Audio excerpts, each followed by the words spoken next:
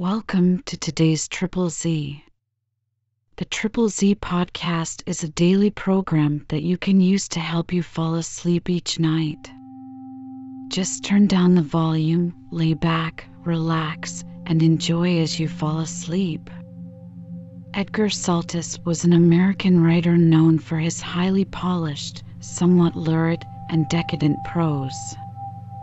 He was born on October 8, 1855, in New York City to a prominent family.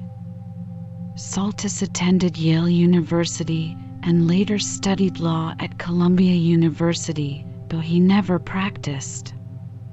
His interest was primarily in writing, and his early works reflect his fascination with the decadent movement, a late 19th century artistic and literary movement that was centered in Western Europe. Saltus wrote both fiction and nonfiction. His works ranged from philosophical discourses to romantic novels. Some of his well known books include The Philosophy of Disenchantment, The Anatomy of Negation, and Imperial Purple, all of which reveal his ability to weave together philosophical ideas and dramatic narratives. His writing was often characterized by its wit, irony, and intricate style, blending a rich vocabulary with complex themes. Although he was not widely known during his lifetime and his works were often met with mixed reviews, he has since been recognized for his contribution to American literature. In his book, The Pace That Kills, Roland Mistrial, once a wealthy New York aristocrat, finds himself facing unexpected financial hardship after the loss of his father, unbeknownst to him, squandered their wealth and gave the family estate to Alice Jacks, a woman he loved. Roland is shocked by this revelation and begins his journey to understand the circumstances leading to his loss of inheritance. His first step involves a visit to Alice Jacks, who, despite her youthful innocence, appears to wield substantial power over his inheritance, with a suspicion arising about her cousin Philip's influence over Roland's father. Seeking a way to reclaim his lost inheritance without creating a public scandal, Roland consults the Honorable Paul Dunellen, a respected lawyer. After Roland describes his predicament and his desire to guard his father's reputation, Dunellen agrees to support him and suggests a discreet investigation into the matter. Although Roland acknowledges the complexities of his situation and the difficulty of the path ahead, he remains hopeful for a resolution. If you enjoy our program, please be sure to write us a review on your podcast platform and share us with a friend. You both might sleep just a little better at night. Our website is triple Z, that's 3z's.media. You can also like and share our content on Facebook or our Instagram account ZZZ Media Podcast. Music for today's episode was provided by the Sleep Channel on Spotify. Chapter 1 I wish you a happy new year, sir. It was the servant, green of livery, the yellow waistcoat slashed with black, bearing the coffee and fruit. Put it there, please, Roland answered. And then, in recognition of the salutation, he added, Thanks, the same to you. Hum, he mused, as the man withdrew. I ought to have tipped him, I suppose. He leaned from the bed, poured some milk into a cup, and for a second nibbled at a slice of iced orange. Through the transom came a faint odor of homemade bread, and with it the rustle of a gown and a girl's clear laugh. The room itself was small. It was furnished in a fashion which was unsuggestive of an hotel and yet did not resemble that of a private house. The curtain had been already drawn. Beyond was a lake, very blue in the sunlight, bulwarked by undulant hills. Below, on the road, a dog cart fronted by a groom was awaiting somebody's pleasure. It is late, he reflected, and raised a napkin to his lips. As he did so, he noticed a package of letters which the napkin must have concealed. He took up the topmost and eyed it.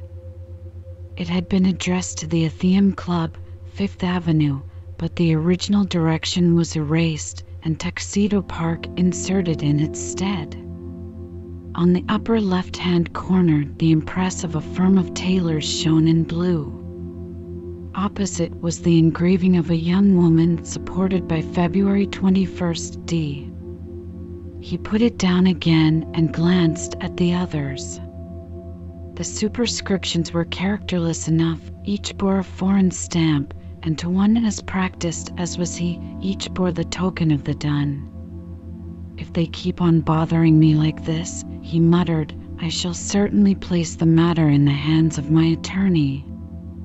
And thereat, with the air of a man who had said something insultingly original, he laughed aloud, swallowed some coffee, and dashed his head in the pillow. In and out of the corners of his mouth a smile still played, but presently his fancy must have veered, for the muscles of his lips compressed, and as he lay there, the arms clasped behind the head, the pink silk of his sleeves framing and tinting his face, and in the eyes the expression of one prepared to meet fate and outweed it. A possible observer who could have chanced that way would have sat himself down to study and risen up perplexed.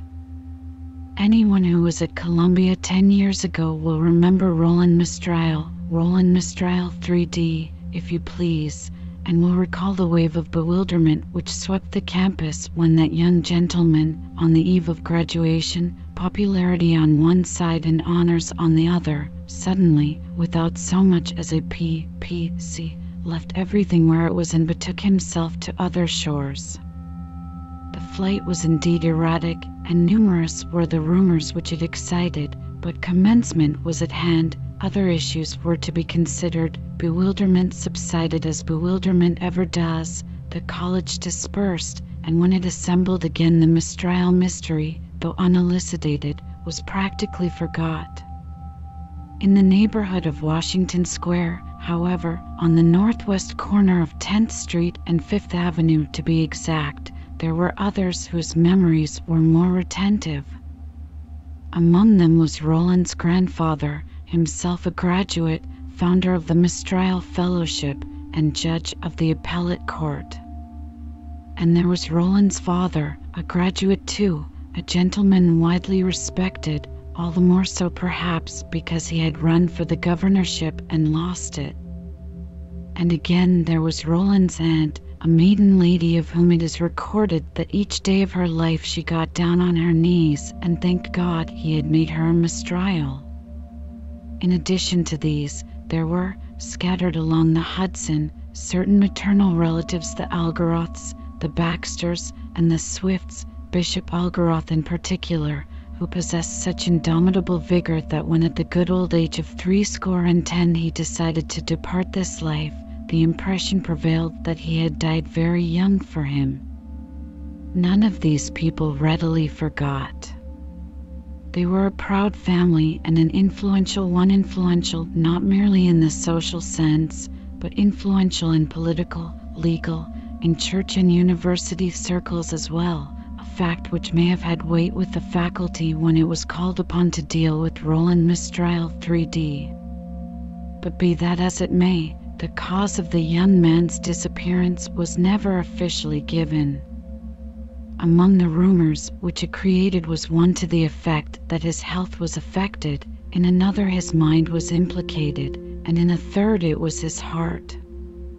Yet as not one of these rumors had enough evidential value behind it to concoct an anonymous letter on, they were suffered to go their way undetained, very much as Roland had already gone his own.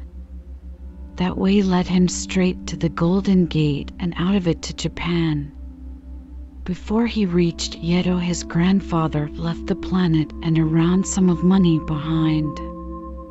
Of that round sum, the grandson came in for a portion. It was not fabulous in dimensions, but in the East money goes far.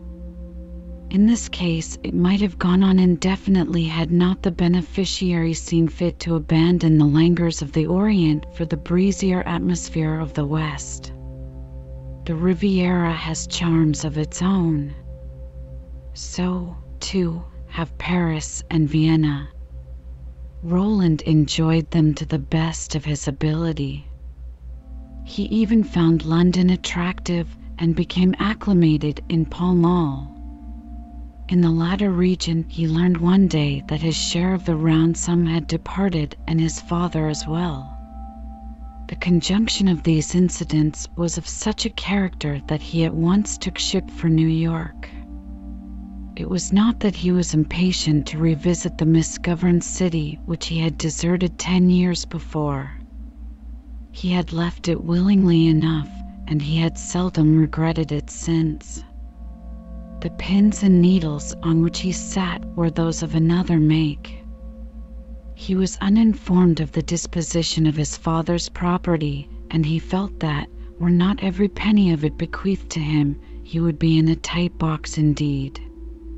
He was at that time just entering his thirtieth year, that age in which a man who has led a certain life begins to be particular about the quality of his red pepper, and anxious too that the supply of it shall not tarry. Though meagre of late, the supply had been sufficient. But at present the palate was a trifle impaired. Where a ten pound note had sufficed for its excitement, a hundred now were none too strong. Roland Mistral 3D no longer wanted money, and he wanted plenty of it. He had exact ideas as to its usefulness, and none at all regarding its manufacture. He held, as many have done and will continue to do, that the royal road to it leads through a testament, and it was in view of the opening vistas which that road displayed that he set sail for New York. And now, six weeks later, on this fair noonday of a newer year, as he lay outstretched in bed, you would have likened him to one well qualified to keep a mother awake and bring her daughter dreams. Our canons of beauty may be relative, but, such as they are, his features accorded with them disquietingly even, for they conveyed the irritating charm of things we have hoped for, striven for, failed to get, and then renounced with thanksgiving. They made you anxious about their possessor, and fearful too lest the one dearly beloved might chance to see them, and so be subjugated by their spell. They were features that represented good stock, good breeding, good taste, good looks, every form of goodness, in fact, save, it may be, the proper one. But the possible lack of that particular characteristic was a matter over which hesitation well might be. We have all of us a trick of flattering ourselves with the fancy that, however obtuse our neighbor is, we at least are gifted with the insight of a detective, a faculty so rare and enviable that the blunders we make must be committed with a view to its concealment. Yet, despite presumable shrewdness, now and then a face will appear that eludes cataloguing and leaves the observer perplexed. Roland Mistrials was one of these. And now, as the pink silk of his shirt sleeves tinted it, the expression altered, and behind his contracted brows hurried processions of shifting scenes. There was that initial catastrophe which awaited him almost on the wharf the discovery that his father had left him nothing, and that for no other reason in the world than because he had nothing whatever to leave nothing, in fact, save the hereditary decoration of and right of enrollment in the Society of the Cincinnati, the which, handed down since Washingtonian days from one Mistrial to another, he held, as his forefathers had before him, in trust for the Mistrials to be. No, he could not have disposed of that, even had he so desired, but everything else, the house on 10th Street, built originally for a country seat, in times when the Astor House was considered rather far uptown, bonds, scrip, and stocks, disappeared as utterly as had they never been, for Roland's father, stricken with that form of dementia which, to the complete discouragement of virtue, battens on men that have led the chastest lives, had, at that age in which the typical rake is forced to haul his standard down, surrendered himself to senile debauchery, and in the lap of a female of uncertain attractions of whose mere existence no one had been previously aware placed title deeds and certificates of stock. In a case such as this, the appeal of the rightful heir is listened to with such patience that judge and jury too have been known to pass away and leave the tale unended. And Roland, when the earliest dismay had in a measure subsided, saw himself closeted with lawyers who offered modicums of hope in return for proportionate fees.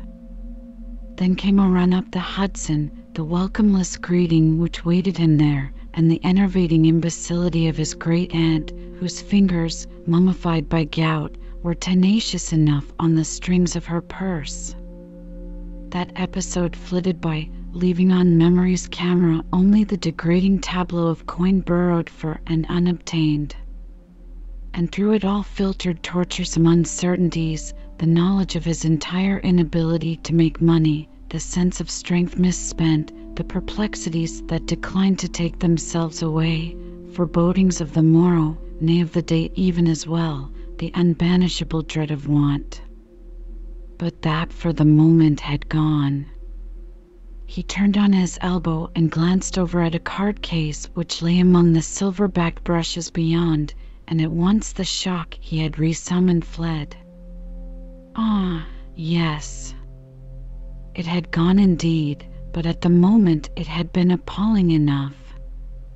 The morrow at least was secure, and as he pondered over its possibilities, they faded before certain episodes of the previous day that chance encounter with Alphabet Jones, who had insisted he should pack a valise and go down with Tremont Yard and himself to Tuxedo, and at once the incidents succeeding the arrival paraded through his thoughts. There had been the late dinner to begin with, then the dance, the girl to whom someone had presented him, and with whom he had set it out, the escape of the year, the health that was drunk to the new one, and afterwards the green baize in the card room, the bank which Tremont Yard had held, and finally the successful operation that followed, and which consisted in cutting that cherub's throat to the tune of three thousand dollars. It was all there now in the card case, and though, as sums of money go, it was hardly quotable, yet in the abstract, forethought and economy aiding, it represented several months of horizon solid and real. The day was secure. As for the future, who knew what it might contain? A grave, perhaps, and in it his aunt. Chapter 2 If I had been killed in a duel, I couldn't be better. It was Jones the novelist describing the state of his health. But how is my friend and brother in virtue? Utterly ramolescent, Roland answered confidingly. What the French call gaga. The midday meal was in progress, and the two men, seated opposite each other, were dividing a demi-dorf salad. They had been schoolmates at Concord, and despite the fact that until the day before they had not met for a decennium, the happy-go-lucky intimacy of earlier days had eluded time and still survived. Throughout the glass-enclosed piazza other people were lunching, and every now and then Jones, catching a wandering eye, would bend forward a little and smile. Though it was but the first of the year, the weather resembled that of May. One huge casement was wide open. There was sunlight everywhere, flowers too, and beyond you could see the sky, a dome of opal and sapphire blent. Well, Jones replied, I can't say you have altered much. But then who does? You remember, don't you? And Jones ran on with some anecdote of earlier days. But Roland had ceased to listen. It was very pleasant here, he told himself. There was a freedom about it that the English country house, however charming, lacked. There was no one to suggest things for you to do, there was no host or hostess to exact attention, and the women were prettier, better dressed, less conventional, and yet more assured in manner than any that he had encountered for years. The men, too, were a good lot, and given one or two more little surprises, such as he had found in the card room, he felt willing to linger on indefinitely a week at least, a month if the fare held out. His eyes roamed through the glitter of the room. Presently, at a neighboring table, he noticed the girl with whom he had seen the old year depart. She was nodding to him, and Roland, with that courtesy that betokens the foreigner a mile away, rose from his seat as he bowed in return. Jones, whom little escaped, glanced over his shoulder. "By the way, are you on this side for good?" he asked, and Roland answering with the vague shrug the undetermined give, he hastened to add dash or for bad? "That depends. I ran over to settle my father's estate, but they seem to have settled it for me. After all, this is no place for a pauper, is it? The wolf's at the door, is he?" Roland laughed shortly. "At the door? Good Lord! I wish he were. He's in the room. There, dear boy, never mind. Wait till spring comes and marry an heiress. There are so many hereabouts that we use them for export purposes. They are a glut in the market. There's a fair specimen. Ever meet her before? Meet whom? That girl you just bowed to. They call her father Honest Paul. Oh, if you ask me why, I can't tell. It's a nickname, like another. It may be because he says Amen so loud in church. A number of people have made him trustee, but whether on that account or not they never told. However, he's a big man, owns a mile or two up there near the riverside. I should rate him at not a penny less than ten million. What did you say his name was? Dunellen, the Honorable Paul Dunellen. At one time dash. Jones rambled on, and again Roland had ceased to listen. But it was not the present now that claimed him. At the mention of the plutocrat something from the past came back and called him there a thing so shadowy that, when he turned to interrogate, it eluded him and disappeared. Then at once Without conscious effort, an episode which he had long since put from him arose and detained his thought. But what on earth, he wondered, had the name of Dunellen to do with that? And for the moment dumbly perplexed, yet outwardly attentive, he puzzled over the connection and tried to find the link, yet that too was elusive. The name seemed to lose its suggestiveness, and presently it sank behind the episode it had evoked. Of course, Jones was saying, in reference, evidently, to what had gone before dash of course as millionaires go he is not first chop.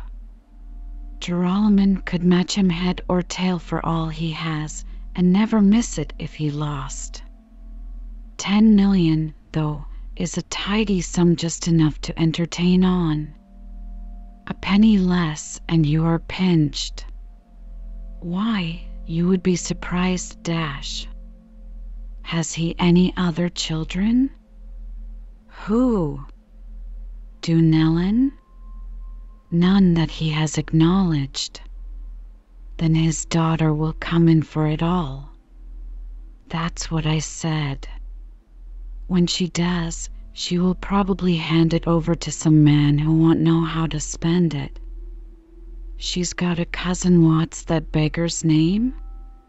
However, he's a physician, makes a specialty of nervous diseases, I believe, good enough fellow in his way, but an everlasting bore the sort of man you would avoid in a club and trust your sister to. What the deuce is his name?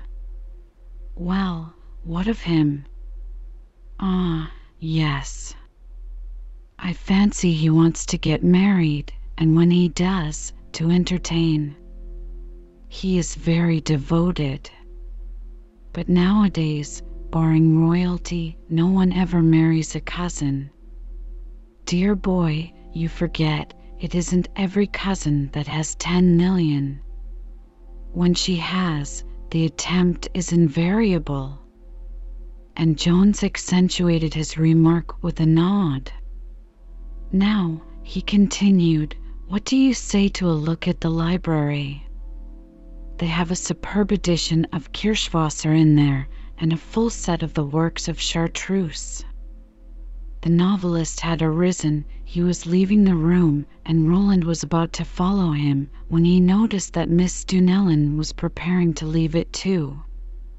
Before she reached the hall, he was at her side.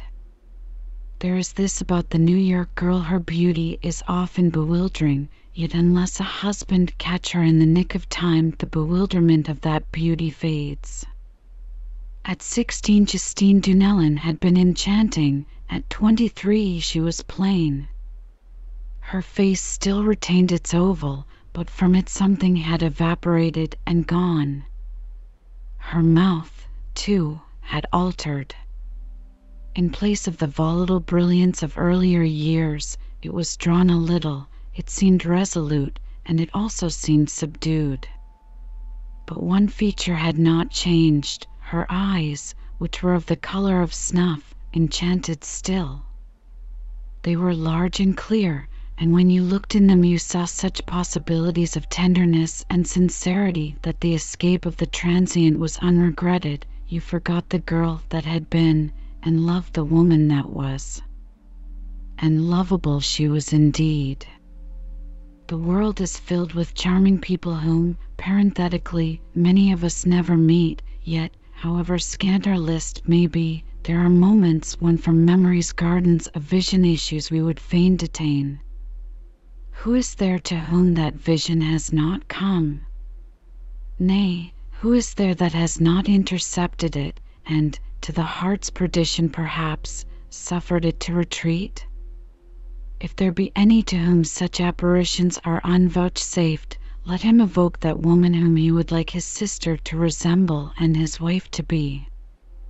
Then, if his intuitions are acute, there will appear before him one who has turned sympathy into a garment and taken refinement for a wreath, a woman just yet debonair, thoughtful of others, true to herself, a woman whose speech can weary no more than can a star, whose mind is clean as wholesome fruit, whose laugh is infrequent, and whose voice consoles, a woman who makes the boor chivalrous and the chivalrous bend the knee.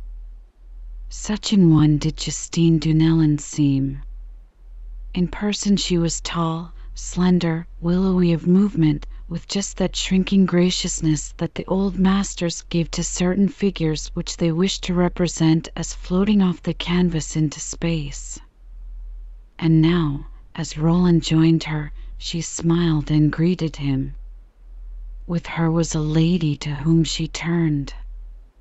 Mrs. Metuchen, this is Mr. Mistrial and Roland found himself bowing to a little old woman elaborately dressed. She was, he presently discovered, a featherhead person who gave herself the airs of a princess in couches. But though not the rose, at least she dwelt near by. Her husband was Mr. Dunellen's partner, and to Justine, particularly since the death of her mother, she had become what the Germans, who have many a neat expression, term a Wahlverwandtschaft, relation not of blood, but of choice. She was feather headed, but she was a lady; she was absurd, but she was lovable, and by Justine she was evidently beloved. Roland got her a seat, found a footstool for her, and pleased her very much by the interest which he displayed in her family tree. "I knew all your people," she announced at last. And when she did so, her manner was so gracious that Roland felt the hour had not been thrown away. During the rest of the day he managed to be frequently in her vicinity. The better part of the morrow he succeeded in sharing with Justine. And in the evening, when the latter bade him good night, it occurred to him that if what Jones had said in regard to the cousin was true, then was the cousin losing ground. The next morning, Mrs. Metuchen and her charge returned to town. Roland followed in a later train. As he crossed the ferry, he told himself he had much to do, and on reaching New York, he picked up his valise with the air of one who has no time to lose. Chapter 3 In a city like New York, it is not an easy task, nor is it always a profitable one, to besiege a young person that is fortressed in her father's house. And when the house has a cousin for sentinel, and that cousin is jealous, the difficulty is increased. But time and tact aiding, what obstacle may not be removed? Roland understood all this very thoroughly, and on the day succeeding his return from Tuxedo, he examined the directory, strolled into Wall Street, and there, at the shingle of Dunellen, Metuchen, and such, sent in a card to the senior member of the firm. The Honorable Paul Dunellen, honest Paul, to the world in which he moved, was a man who in his prime must have been of glad and gallant appearance, but latterly he had shrunk, his back had bent almost into a hump, he held his head lower than his shoulders, but with uplifted chin, a habit which gave him the appearance of being constantly occupied in peering at something which he could not quite discern, an appearance that was heightened by his eyes, which were restless, and by his brows, which were tormented and bushy. He had an ample mouth. When he spoke, the furrows in his cheeks moved with it. His nose was prominent, all his features, even to his ears, were larger than the average mold. When Roland was admitted to the room in which he sat, the first impression which he got from him was that of massiveness and decay. Mr. Mistrial, I am glad to see you. I knew your father, and I had the honor of knowing your grandfather as well. Will you not take a seat? The old man had half risen, and in this greeting made manifest something of that courtesy which we are learning to forget. You are very kind, Roland answered. It is because of my father that I venture to call.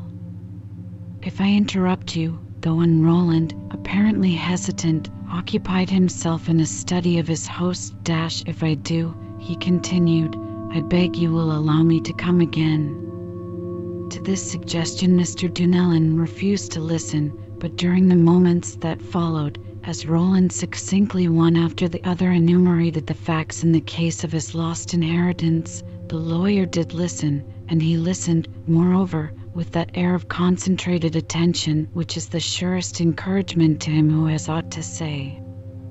And when Roland had completed the tale of his grievance, he nodded and stroked his chin. The matter is perfectly clear, he announced, though I can't say as much for the law. Undue influence is evident. The trouble will be to invalidate a gift made during the lifetime of the donor, but Dash and Mr. Dunellen made a gesture as who should say, It is for that that courts were established. Yet, tell me, why is it that you have done nothing about it before? To this Roland made no immediate reply. He lowered his eyes. Paralysis is written in your face, he mused. Then aloud and rather sadly, the fairest patrimony is an honored name, he said. It is for me to guard my father's reputation. It is only recently, stress of circumstances aiding, I have thought that without publicity some compromise might possibly be effected. He looked up again, and as he looked, he assured himself that the old man would not outlast the year. Well, Mr. Mistrial, you must let me quote this speech a lord made to a commoner. You are not a noble, sir, but you are worthy of being one. and Mr. Dunellen, reaching out, caught Roland's hand and shook it in his own. I enter thoroughly into your delicacy the more readily because I do not encounter it every day, no, nor every month. It does me good on my word, it does. Now, if a compromise can, as you suggest, be effected, and you care to leave the matter in my hands, I will do my best to serve you. It may take some little time. We must seem neither zealous nor impatient, and meanwhile HMI understood you to say something about your circumstances. Now, if I can be of any dash.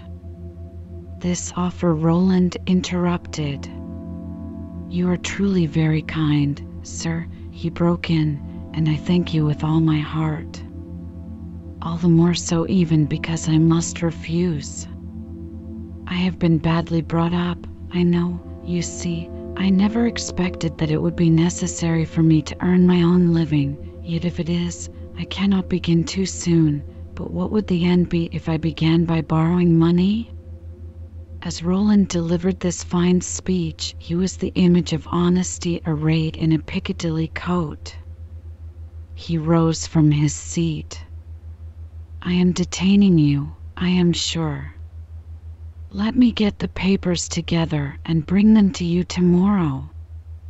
Do so, by all means, Mr. Dunellen answered, rising too. Do so, by all means. But wait, tomorrow I may be absent. Could you not send them to my house this evening, or better still, bring them yourself? It would give me pleasure to have my daughter meet a man who is the moral portrait of his grandfather. Your daughter! Roland exclaimed. It is not possible that she is the Miss Dunellen whom I saw the other day at Tuxedo. With Mrs. Metuchen? Why, of course it is. And the lawyer looked as surprised as his client. This is indeed a coincidence. But you will come, will you not? I shall consider it a privilege to do so, Roland, with a charming affectation of modesty, replied, and presently, when he found himself in the street again, he saw, stretching out into beckoning vistas, a high road paved with promises of prompt success.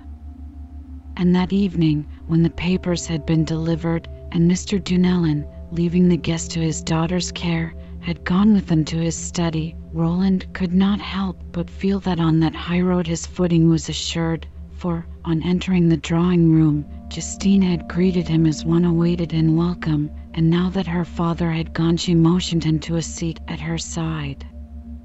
Tell me, she said, what is it you do to people? There is Mrs. Metuchen, who pretends to abominate young men and openly admires you. Today you captured my father. By tomorrow you will be friends with Guy. With Guy? Mechanically, Roland repeated the phrase. Then, at once, into the very core of memory entered the lancinating pang of a nerve exposed. During the second that followed, in that tumult of visions that visits him who awakes from a swoon, there came to him the effort made in Tuxedo to recall in what manner the name of Dunellen was familiar to his ears, but that instantly departed, and in its stead came a face one blur of tears, and behind it a stripling livid with hate. Could that be Guy? If it were, then indeed would the high road narrow into an alley with a dead wall at the end. Yet of the inward distress he gave no outward sign. About his thin lips a smile still played, and as he repeated the phrase he looked, as he always did, confident and self possessed. Yes, I am sure you will like each other, the girl answered, all the more so perhaps because no two people could be less alike. Guy, you see, is Dash. But whatever description she may have intended to give remained unexpressed. A portiere had been drawn, and someone was entering the room. Roland, whose back was toward the door, turned obliquely and looked. Why, there he is, he heard Justine exclaim, and in the man that stood there he saw the stripling he had just evoked. Into the palms of his hands a moisture came, yet as Justine proceeded with some form of introduction, he rose to his feet. So you are the cousin, he mused, and then, with a bow in which he put the completest indifference, he resumed his seat.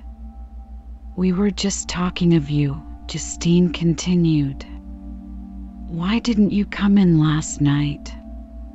It is snowing, the cousin remarked inconsequently and sat himself down.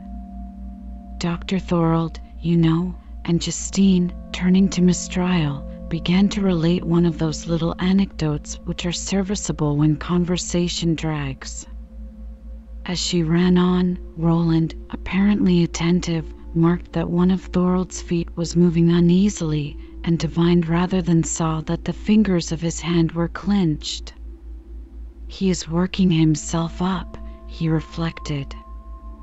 Well, let him, it will make it the easier for me. And as he told himself this, he turned on Thorold a glance which he was prepared to instantly divert. But the physician was not looking. He sat bolt upright, his eyes lowered, and about his mouth and forehead the creases of a scowl. Dr. Thorold was of that class of man that women always like and never adore. He was thoughtful of others and considerate. Physically, he was well favored and pleasant to the eye. He was sometimes dull, but rarely selfish. By taste and training, he was a scholar gifted at that, and yet through some accident of nature he lacked that one fiber which differentiates the hero from the herd. In the way we live today, the need of heroes is so slight that the absence of that fiber is of no moment at all a circumstance which may account for the fact that Justine admired him very much, trusted him entirely, and had she been his sister instead of his cousin, could not have appreciated him more. And now, as Roland eyed him for one moment through some of those indetectable currents that bring trivialities to the mind that is most deeply engrossed, he noticed that though the physician was in dress, the shoes he wore were not veneered. Then at once he entered into a perfect understanding of the circumstances in which he was placed. Though he lost the game even as the cards were being dealt, at least he would lose it well. I'll teach him a lesson, he decided, and presently, as Justine ceased speaking, he assumed his gayest air. Yes, yes, he exclaimed, and gave a twist to his light mustache. He had caught her ultimate words, and with them a cue. Yes, I remember in Nepal dash and thereupon he carried his listener through a series of scenes and adventures which he made graphic by sheer dexterity in the use of words. His speech, colored and fluent, was of exactly that order which must be heard, not read. It was his intonation which gave it its charm, the manner in which he eluded a detail that might have wearied, the expression his face took on at the situations which he saw before describing, and which he made his auditor expect, and also the surety of his skill in transition the art with which he would pass from one idea to another, connect them both with a gesture, and complete the subject with a smile. The raconteur is usually a bore. When he is not, he is a wizard. And as Roland passed from one peak of the Himalayas to another, over one of the two that listened, he exerted a palpable spell. At last, the end of his tether reached, he turned to the cousin, and, without a hesitation intervening, asked of him, as though the question were one of really personal interest, Dr. Thorold, have you ever been in the East? Thorold, thrown off his guard, glared for an instant, the scowl still manifest, then he stood up. No, sir, I have not, he answered, and each of the monosyllables of his reply he seemed to propel with tongue and teeth. Good night, Justine. and with a nod that was rather small for two to divide, took himself from the room. He reached the portiere before Justine fully grasped the discourtesy of his conduct. She stared after him wonderingly, her lips half parted, her clear eyes dilated and amazed, the color mounted to her cheeks, and she made as though to leave her seat. But this Roland thought it wise to prevent. Miss Dunellen, he murmured, I am afraid Dr. Thorold was bored. It is my fault. I had no right dash. Bored. How could he have been? I am sure I don't see dash. Yes, you do, my dear, thought Roland. You think he was jealous, and you are wrong, but it is good for us that you should and in memory of the little compliment her speech had unintentionally conveyed, he gave another twist to his mustache. The outer door closed with a jar that reached him where he sat. Thank God, he muttered, and divining that if he now went away the girl would regret his departure after another word or two, and despite the protestation of her manner, he bade her good night. It is one of the charms of our lovely climate that the temperature can fall 20 degrees in as many minutes. When Roland entered the Dunellen house, he left Spring in the street. When he came out again, there was snow.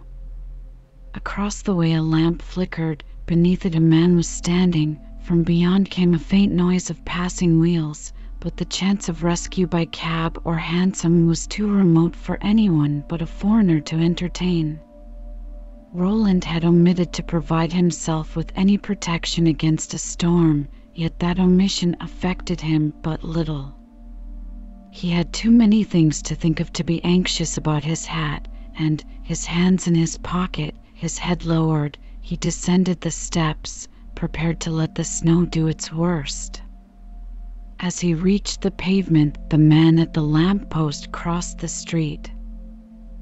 Dryle, he called, for Roland was hurrying on dash Mistrial, I want a word with you.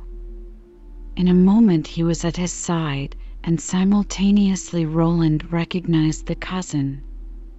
He was buttoned up in a loose coat faced with fur, and over his head he held an umbrella. He seemed a little out of breath. If, he began at once, if I hear that you ever presume to so much as speak to Miss Dunellen again, I will break every bone in your body. The voice in which he made this threat was gruff and aggressive. As he delivered it, he closed his umbrella and swung it like a club. A new stew, mean tenant, mused Roland. And not only that, if you ever dare to enter that house again, I will expose you. Oh, will you, though? answered Roland. The tone he assumed was affectedly civil. Well, now, my fat friend, let me tell you this. I intend to enter that house, as you call it, tomorrow at precisely five o'clock. Let me pick you up on the way, and we can go together. Roland Mistrial, as sure as there is a God in heaven, I will have you in the tombs. See here, put up your umbrella. You are not in a condition to expose yourself, let alone anyone else. You are daft, Thorold, that is what is the matter with you. If you persist in chattering tombs at me in a snowstorm, I will answer Bloomingdale to you.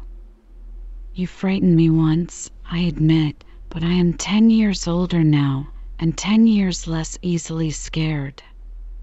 Besides, what drivel you talk! You haven't that much to go on." As Roland spoke his accent changed from affected suavity to open scorn. "Now stop your bluster," he continued, "and listen to me. Because you happen to find me in there, you think I have intentions on the heiress dash. It's a lie. She dash. There, don't be abusive. I know you want her for yourself, and I hope you get her. But please don't think that I mean to stand in your way. I should say not. In the first place, I went there on business. What business? I would like to know. So you shall. I took some papers for Mr. Dunellen to examine papers relative to my father's estate. Tomorrow I return to learn his opinion. Next week I go abroad again. When I leave, I promise you shall find your cousins still heart whole and fancy free. As Roland delivered this little stab, he paused a moment to note the effect. But apparently it had passed unnoticed. Thorold seemingly was engrossed in the statements that preceded it. The scowl was still on his face, but it was a scowl into which perplexity had entered, and which in entering had modified the aggressiveness that had first been there. At the moment his eyes wandered, and Roland, who was watching him, felt that he had scored a point. You say you are going abroad? he said, at last. Yes, I have to join my wife. At this announcement, Thorold looked up at him and then down at the umbrella. Presently, with an abrupt gesture, he unfurled it and raised it above his head. As he did so, Roland smiled. For that night, at least, the danger had gone. Of the morrow, however, he was unassured. Suppose we walk along, he said, encouragingly and before Thorold knew it, he was sharing that umbrella with his foe. Yes, he continued, my poor father left his affairs in a muddle, but Mr. Dunellen says he thinks he can straighten them out. You can understand that if any inkling of this thing were to reach him, he would return the papers at once. You can understand that, can't you? After all, you must know that I have suffered. Suffered? Thorold cried. What's that to me? It made my mother insane. God knows I nearly lost my reason too. I can understand how you feel toward me, it is only what I deserve. Yet, though you cannot forget, at least it can do you no good to rake this matter up. It is because of Dash, and for a second the cousin halted in his speech. Voile, mused Roland. G.T. voice Venner. However, if you are going abroad, Dash. Most certainly I am. I never expect to see Miss Dunellen again. In that case, I will say nothing. They had reached Fifth Avenue, and for a moment both loitered on the curb. Thorold seemed to have something to add, but he must have had difficulty in expressing it, for he nodded as though to reiterate the promise. I can rely upon you then, can I? Roland asked. Keep out of my way, sir, and I will try, as I have tried, to forget. A bus was passing, he hailed it and disappeared. Roland watched the conveyance and shook the snowflakes from his coat. Try and be damned, he muttered. I haven't done with you yet. The disdain of a revenge at hand is accounted the uniquest possible vengeance and it is quite possible that had Roland's monetary affairs been in a better condition, on a sound and solid basis, let us say, he would willingly have put that paradox into action. But on leaving Tuxedo he happened to be extremely hungry hungry, first and foremost, for the possession of that wealth which in this admirably conducted country of ours lifts a man above the law and an adroit combination of scoundrelism and incompetence aiding sometimes lands him high among the executives of state. By political ambition, however, it is only just to say he was uninspired. In certain assemblies, he had taken the trouble to assert that our government is one at which Abyssinia might sneer, but the Arlu of reformer was not one which he had any inclination to attempt. Several of his progenitors figured, and prominently too, in abridgments of history, and, if posterity were not satisfied with that, he had a very clear idea as to what posterity might do. In so far as he was personally concerned, the prominence alluded to was a thing which he accepted as a matter of course. It was an integral part of himself. He would have missed it as he would have missed a leg or the point of his nose, but otherwise it left his pulse unstirred. No, his hunger was not for preferment or place. It was for the ten million which the Honorable Paul Dunellen had gathered together and which the laws of gravitation would prevent him from carrying away when he died. That was the nature of Roland Mistrial's hunger, and as incidental thereto was the thirst to adjust an outstanding account. Whatever the nature of that account may have been, in a more ordinary case it might have become outlawed through sheer lapse of time. But during that lapse of time Roland had been in exile because of it, and though even now he might have been willing to let it drift back into the past where it belonged, yet when the representative of it not only loomed between him and the millions, but was even attempting to gather them in for himself, the possibility of retaliation was too complete to suffer disdain. The injury, it is true, was one of his own doing. But, curiously enough, when a man injures another, the more wanton that injury is, the less it incites to repentance. In certain dispositions it becomes a source of malignant hate. Deserve a man's gratitude, and he may forgive you, but let him do you a wrong, and you have an enemy for life. Such is the human heart, or such at least was Roland Mistrial's. And now, as the conveyance rumbled off into the night, he shook the snowflakes from his coat. "Try, and be damned," he repeated. "I haven't done with you yet."